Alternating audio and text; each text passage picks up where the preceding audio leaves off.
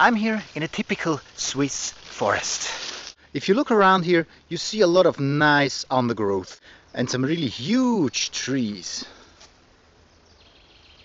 But if you think that this is a natural environment, you're wrong.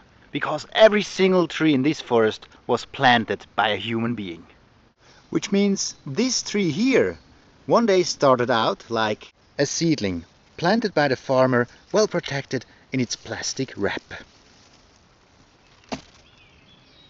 Throughout their lives, they are pampered and looked after, until one day they turn into this. But of course, this has nothing to do anymore with a natural forest.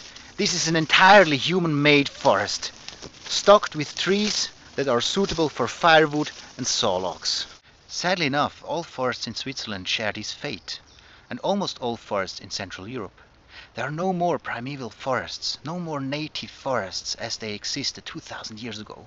And that's why countries that still do have them should take great care of them, because these toothpicks here are really ridiculous.